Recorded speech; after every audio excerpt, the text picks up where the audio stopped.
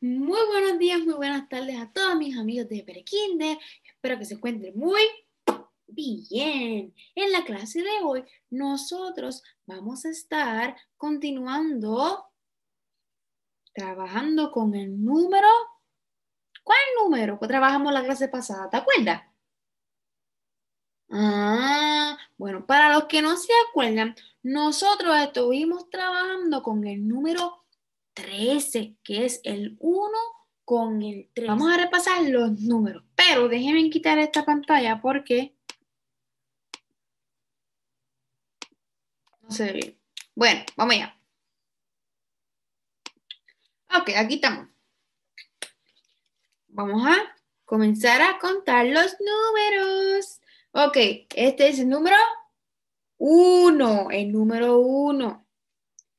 Este es el número 2, el número 3, el número 4, el número 5, el número 6, el número 7, el número 8, el número 9,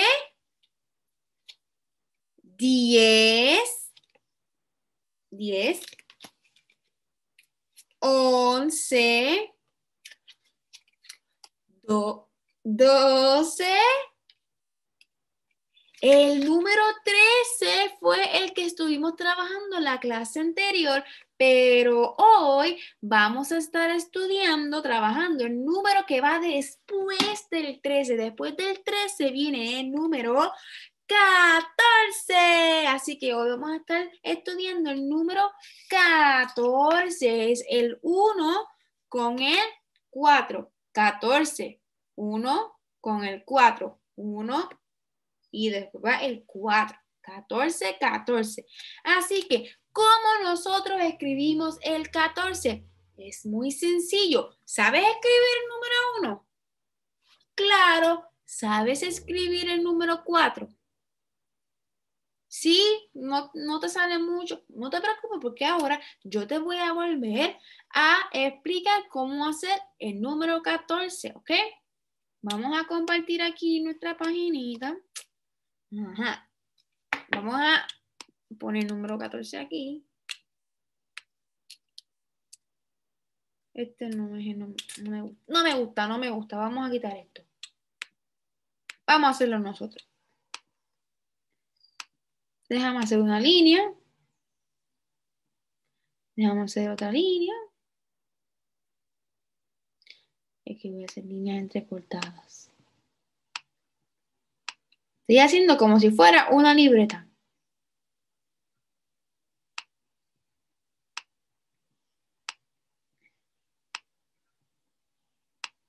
Ok. Pues, esa línea como que se viró. bueno, déjame borrar aquí un poquito. Vamos a ver si podemos hacerla otra vez.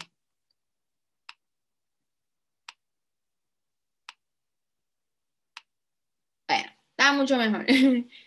Eh, vamos a ver aquí. Voy a ponerlo de color azul. Así que hacer el número 14 es bien sencillo. Lo voy a hacer aquí.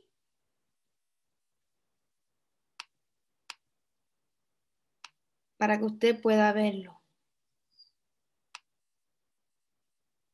Mira qué fácil Pero ahora yo lo voy a hacer paso a paso con usted. Primero tenemos que hacer el, el número 1. Que tocamos el techo y bajamos hasta llegar al piso. ¿Vamos bien? Así es que se supone que se haga el 1. Luego vamos a volver a tocar el techo y vamos a bajar hasta la mitad, que es este caminito que usted ve aquí con las líneas entrecortadas. Hasta la mitad. No he quitado el lápiz, ¿verdad que no? No le he quitado. Pues, ¿qué yo voy a hacer? Yo voy a trazar sobre el caminito, ¡pum! me detengo y entonces vamos a llamar a mi amigo Paco. ¡Paco! Ven para acá. Y vamos a ver si Paco aparece. Mira, Paco apareció, miren a Paco ahí. Pues entonces usted va ahí donde está Paco y va a trazar una línea. Pero como Paco no sabe dónde está su amigo, él lo sigue y lo sigue y lo sigue hasta llegar al piso. Así que dejó a su amigo arrollado. Vamos a volver a hacerlo de nuevo. Lo voy a hacer de otro color. El número uno, desde el techo hasta el piso, ¿verdad? Y entonces, vamos de camino por ahí, me detengo en el caminito y hago una línea y decido llamar a mi amigo Paco y le digo, Paco, ven para acá. Y ahora vamos a ver si Paco aparece. Mira, Paco apareció. Así que vamos a ir a donde Paco. Ajá, Paco. Y se va, y se va, y se va, y lo sigue, lo sigue, lo sigue, lo sigue, lo sigue hasta el piso. Y así es que nosotros hacemos el número 14. ¿Cuántos objetos debe haber para que tengamos 14? 14. Así que vamos entonces a nuestro libro. Vamos al libro. Aquí estamos. Ahora llegamos a la página del libro, disculpen. Bueno, ahora sí, vamos acá. Debemos tener cuántos objetos para poder tener este número? 14, este es el número 14, el 1 con el 4. Y aquí les muestra cómo hacer el 14 tal y como les enseñé. Uh, bajo, voy por el caminito y llamo a mi amigo Paco. Paco, ven Paco. Ok, vamos a ver qué dice aquí. Abuelo Andy, escucha la radio. Los reporteros hablan de un árbol en el que encontraron a unos pájaros muy especiales. ¿Sabes cuántos pájaros hay en el árbol? Vamos a contarlos y después trazamos el número. Vamos a ver aquí. Uno, dos, tres, cuatro, cinco, seis, siete, ocho, 9, 10, 11, 12, 13, 14. Hay 14 pájaros muy especiales. Así que voy a ver si puedo trazar por aquí. Es aquí. A trazar el número 14. No me sale. Vamos a ver aquí. El número 14. Eh, Paco, ven para acá. 14, mírenlo ahí. Vamos a ver la próxima página.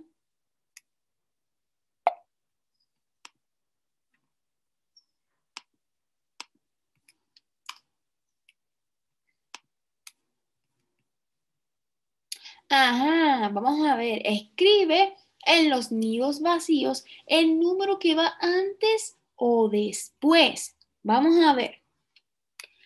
Tenemos el 4. 1, 2, 3, 4.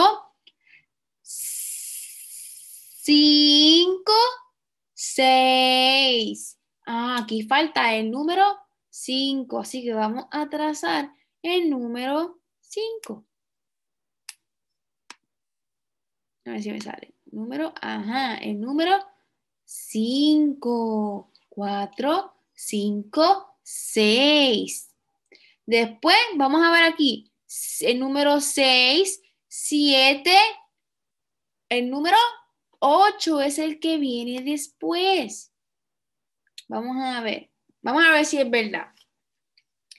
1, 2, 3, 4, que fue cuando empezamos, el 4. Después del 4 le sigue 5, que fue el que escribimos. Luego va el 6. Después del 6, ahora vamos para aquí. Viene el número 7. Déjame mostrarle. El número 7. Después del número 7 viene el número 8. Después viene el 9. Después viene el 10. Y aquí tenemos qué número? El número 12, pero ¿de qué número viene antes de, lo, de 12? Vamos a ver. Este es el 12, pero antes del 12, voy a sacarlo de aquí atrás. Vamos a ver. Ahí está el número 11, el número 11. Así que 11 vamos a escribirlo en este espacio. 11, 12, 13. Vamos abajo aquí. Tenemos el 2 otra vez. 12, 13 y el último número es el 14. El 14 es el que vamos a escribir ahora.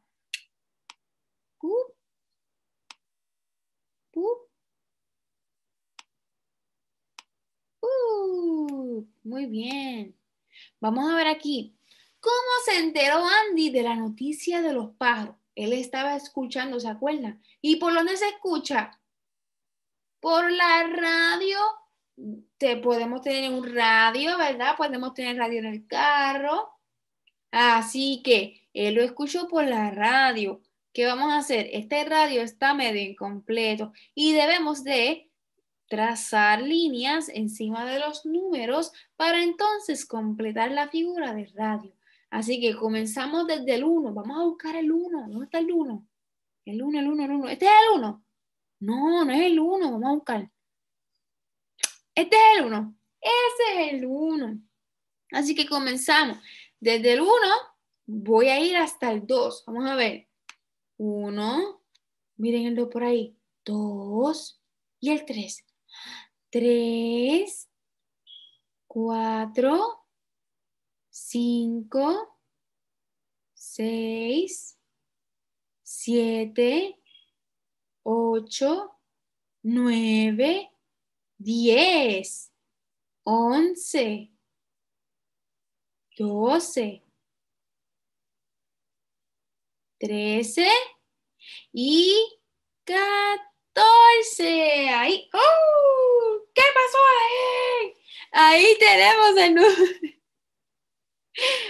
el radio lo tenemos completado, pero yo no sé qué pasó ahí. Así que vamos a ver si yo lo puedo hacer con esto. 1, 2, 3, 4, 5, 6. Ups, otra vez, otra vez. 1, 2, 3, 4, 5, 6, 7, 8, 9, 10, 11, 12, 13 y 14. Ahora sí no salió ningún rectángulo por ahí. Ahí está el radio completado. Bien, ahora vamos a pasar a la próxima página.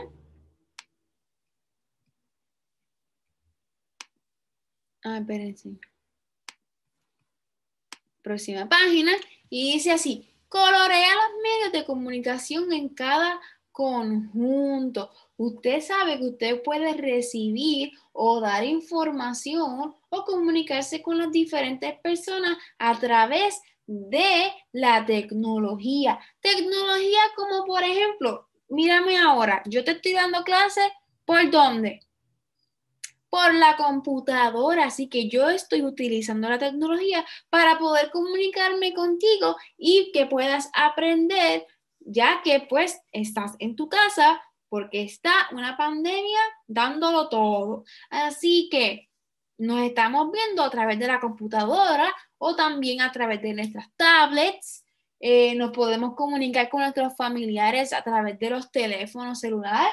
Eh, a través de la, de la computadora, redes sociales y muchas cosas que hoy en día se han estado utilizando, ¿verdad? Para mejorar. Así que tenemos que colorear los medios de comunicación. ¿Qué cosas podemos utilizar para comunicarnos los unos con los otros? ¿Ok? Así que vamos a ver. ¿Se acuerdan que el abuelo estaba escuchando la radio y se enteró de que había unos pájaros muy especiales. Se escuchó por, se, lo escuchó por dónde? Por la radio. Así que desde la radio pudieron comunicarse con todas las personas, ¿verdad? Y dejarles saber esa información muy importante. Así que la radio también es un medio de comunicación. Así que tenemos que colorear el radio, ¿ok? Así que yo voy a marcar con una X los eh, medios de comunicación que tú tienes que colorear, ¿ok? Vamos a ver, yo me puedo comunicar con la linterna. No. Yo me puedo comunicar por el teléfono. Sí, por el teléfono nos comunicamos siempre con todos nuestros familiares, así que usted va a pintar el teléfono. Vamos a ver. A través de la revista nosotros podemos comunicarnos con otras personas, o sea, podemos poner información eh, que sí nos, ¿verdad? No, nos diga eh, cosas importantes. Claro que sí, así que nos podemos comunicar también con las revistas y también nos podemos comunicar con los periódicos que nos dicen las noticias, lo que está pasando, accidentes. Si tú no tienes un radio, pues te dan un periódico para que tú puedas leer lo que sucede en nuestro país, las cosas que están pasando buenas, las cosas que no están pasando muy buenas. Así que a través de el periódico también nos podemos comunicar. Y el champú, con el champú nos podemos comunicar. No, para nada, para nada. Y con el, con la peinilla, ¿nos podemos comunicar con otra persona? Tampoco. Y con la tablet. Sí, con la tablet nos podemos comunicar, así que lo voy a marcar para que usted lo pinte. Y a través de la computadora, ¿podemos comunicarnos con otras personas? Por supuesto. Así que ahí tenemos. Y por último, vamos a ver. Dice, Tita llamó con el celular. ¿Con el qué? Con el celular. ¿El celular es un medio de comunicación? Claro. Llamó a su hermana Ruti y quiere saber si ya está lista para ir a la playa pega lo que le falta a Ruti para ir a la playa. Así que usted lo que va a hacer es que va a pegar, va a buscar su pegatina lo primero. Ok, aquí ya yo tengo las pegatinas. Son estas tres que están aquí, ¿ok? Vamos a ver, si ella va para la playa, vamos a ver qué tiene en su cama. Tiene una camisa, tiene un gorrito, tiene un pantalón. Pero lo más importante, ¿Qué hace falta para poder meternos a la playa? ¿Hace falta una tijera? No. ¿Hace falta una manzana para poder meternos al agua? ¿O hace falta un traje de baño? Hace falta un traje de baño, como vamos para la playa sin traje de baño, muchacha, muchacha. Así que usted lo que va a hacer es que va a sacar el traje de baño y lo va a pegar al lado de su camita para que entonces ella pueda ir a la playa y pueda disfrutar el agua con la ropa adecuada. Falta una paginita más, falta una paginita más. Y dice así, abuelo Andy estudia jardinería por dónde? Por el internet, por el internet, como tú y yo. Que mucho está aprendiendo. Tacha con una X, vamos a marcar con una X, una X, lo que no pertenece a cada grupo. Vamos a ver. Aquí tenemos flores, flores, flores y un reloj. ¿Cuál tú crees que no pertenece a ese grupo? El reloj no va con las flores, ¿verdad que no? Así que este no va. Vamos a ver. Aquí tenemos unos guantes, tenemos un gorrito como si fuera para, para hacer este, nuestro jardincito y una bota para no ensuciarnos. Esos son productos que podemos utilizar en el jardín, ¿verdad que sí? Pero ahora yo te pregunto, ¿el control se puede utilizar para hacer un jardín? No, para nada. Así que este pa fuera es que va. Vamos a ver. Aquí tenemos ahora los materiales para hacer un jardín. Esta espatulita, esta otra espatulita y este otro rastrillito. Pero la computadora se hace, se necesita para hacer un jardín. Para nada, la computadora no es parte de los materiales para hacer un jardín. Así que fuera computadora. Y aquí tenemos una mariposa, tenemos a una abejita, tenemos un gusanito, son insectos, ¿verdad que sí? ¿Y qué tú crees? ¿Una carta pertenece al grupo de los insectos? Para nada. Así que la carta, ¿para dónde va? Para fuera. Muy bien. Así que usted talle esos cuatro objetos que no pertenecen a los grupos y ha terminado en el día de hoy. Así que nos vemos entonces en la próxima clase que sería mañana y nos estaremos viendo luego. Buen fin de semana, mis amigos. Se cuidan.